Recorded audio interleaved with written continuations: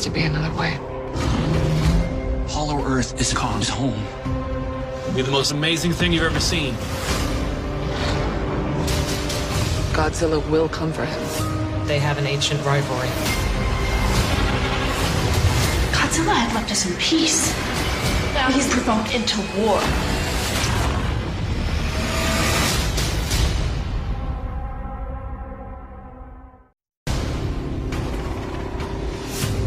Has to be another way.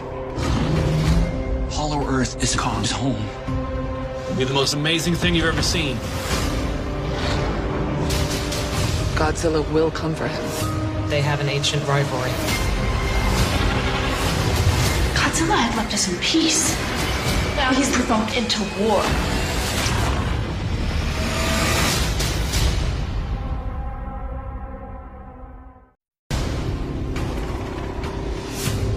Has to be another way.